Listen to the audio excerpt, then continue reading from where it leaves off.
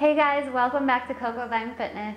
So today we're gonna do a nice, easy stretch workout for neck and back pain. I promise you, if you stick with this workout a couple times a week, you are going to feel a reduction in the pain that you have in those areas. Come join me.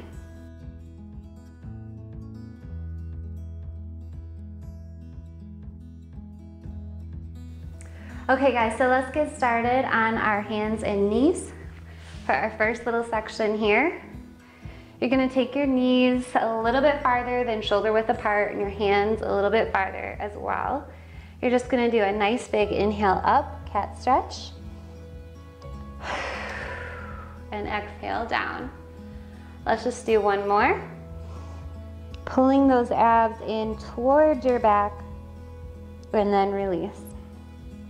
Now you're gonna take those knees out even further and you're gonna come down into a wide leg child's pose, pushing your hands forward, as far forward as you can here.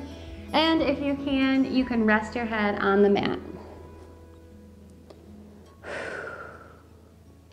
Now, if this move is just too much for you because you have tight hip flexors, you can bring those knees in a little bit closer and just do a regular child's pose.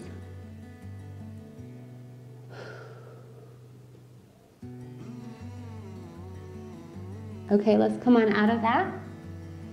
And now in this position, you're gonna take one hand and you're gonna thread it through the other arm with your palm facing the, the floor here. And you're just gonna push it as far forward as you can so that your head, the side of your head is resting on the mat. Now you're just gonna try to open up the outside arm as far as you can. So you're gonna feel a lengthening in your upper back. If you're not quite able to go that far, you can come halfway. But make sure that you press your palm against the floor so that you feel that stretch in your upper back. Hold your abs in. This one should feel good, not painful. Okay, let's switch sides. Same thing. Calm down. Open up your upper arm.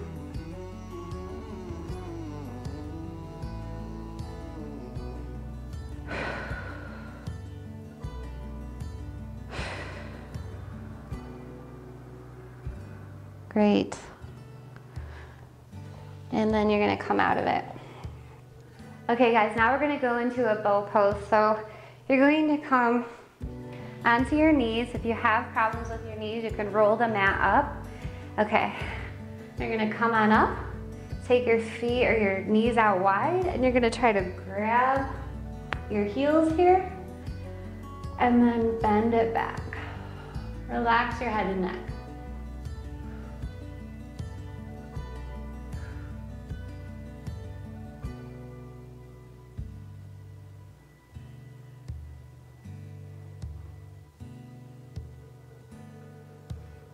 And then slowly come out of it.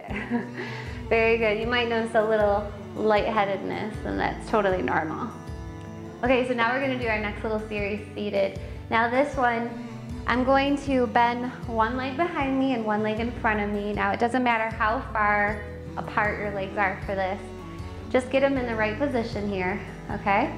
And you're just gonna lean forward and twist okay? So my outside arm is just across or in front of my front leg twist. If you wanna make this easier, you can come down onto your elbows. But I like to come up because I can get a deeper range of motion here. And now this one is a little challenging, so we're not gonna stay in it too long. So again, bring your outside arm across your opposite knee and push. You should feel a lengthening in your glutes here too, especially if you did like a squat or leg workout yesterday or the day before. Yeah, this one's good for that. Okay, okay. Cross those legs in front. Bring those hands out to the side. Point those fingers as far out as you can here. And you're just gonna drop your ear to your shoulder. Now be very careful not to lift your shoulder up to meet your ear because it's only gonna cause a lot more strain in the neck, which we don't want. So slowly drop your ear to your shoulder and just let it rest here until you start to feel the lengthening in the muscle and until it starts to feel a little more comfortable.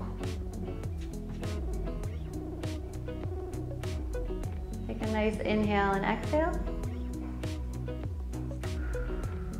And as you do your next inhale, you're gonna roll your heads very, very slowly down towards your chest. Stay here.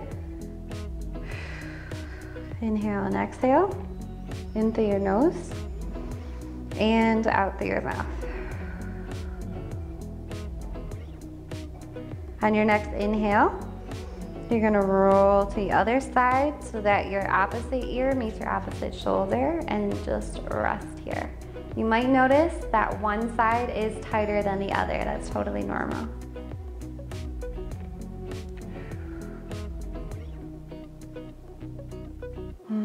Feels so good. Can we just stay here? Okay, now very slowly come back up out of it now what you're gonna do is you're gonna take one hand on top of the other, very flat, or you can make it into a fist, whatever feels good for you. And you're just going to press those palms, the top of those palms, up so that your chin pushes up towards the ceiling.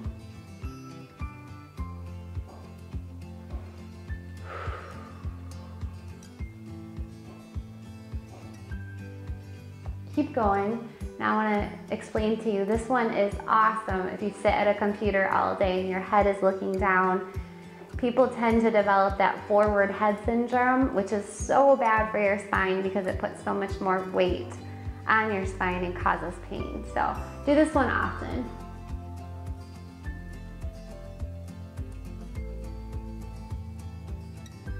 Awesome, slowly bring it down. Now you're gonna clasp your hands behind you and straighten those arms as tight as you can, squeezing those triceps.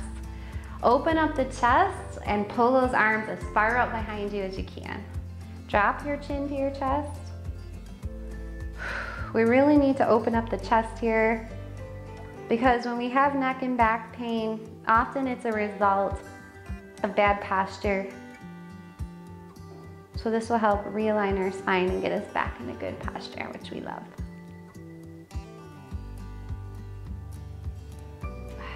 Excellent. Okay, now in that same position, you're gonna keep those fingers clasped and you're gonna bring them to one side of your hip here. And you're gonna do the same thing that you did before, bringing your ear to your shoulder. We're not gonna stay here very long because we're gonna transition down towards the chest. And now you're going to bring your opposite ear to your opposite shoulder. You're gonna feel an even deeper lengthening here in the neck. It's great to do after the initial neck stretch because our neck is already lengthened. Sometimes this move can cause some pain if we do it too quickly. Again, make sure that elbows push down, the shoulders push down, and relax. Bring your head to center. Round it up. Let's switch sides. Okay, bring your ear to your shoulder. Stay here for a second, and then you're gonna drop that chin towards your chest. And bring your opposite ear to opposite shoulder. Smile. You're gonna feel so much better when you're done. These are moves that I do often along with the foam roller to realign my spine and my neck and I just feel night and day different when I do them. So hopefully they work for you guys too. Let me know in the comments below.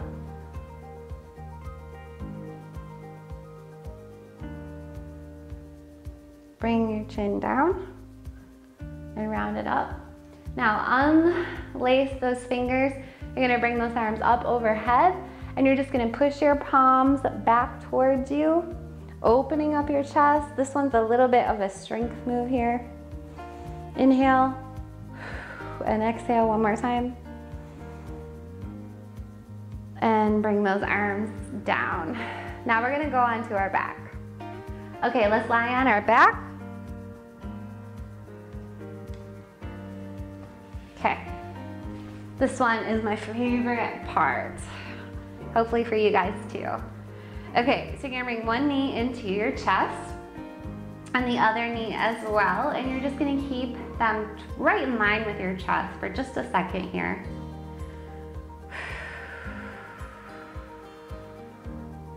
Now you're gonna push the knees apart, as far apart as you can go. Again, if you have tight hip flexors, you might not be able to go that far. So just stick with it and in time you will. You can kind of roll around on your mat, massage your low back.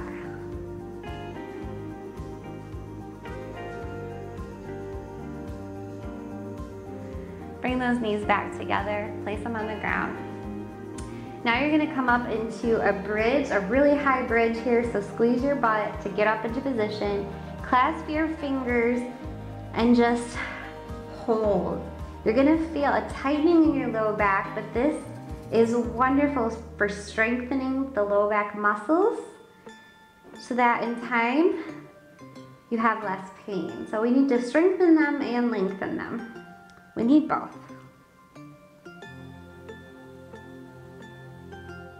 Excellent, bring that down. Now you're gonna cross one leg over the other and you do a figure four stretch. You're gonna pull that knee towards you and while you're in this position, now you're gonna slowly cross your legs like you're sitting, crossing your legs, and then pull even deeper. As deep as you can go here.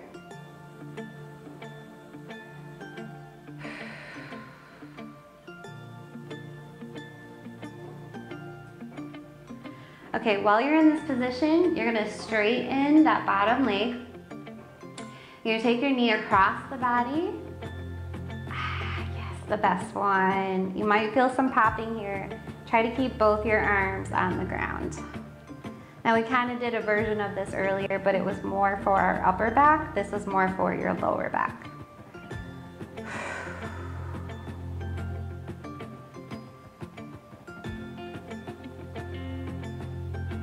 As soon as you feel ready, let's come on out of that.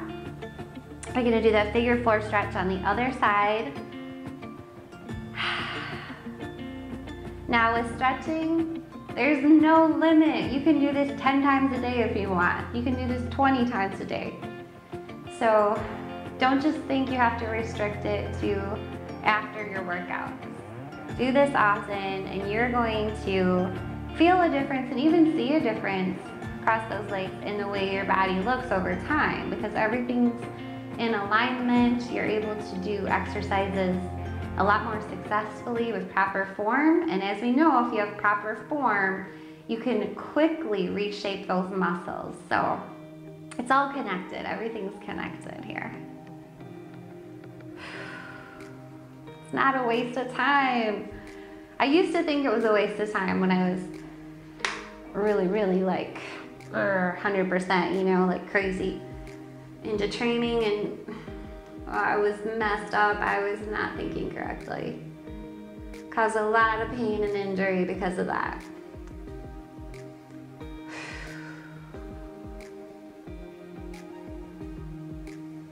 There's a reason that you feel so incredible after you stretch because it's good for you.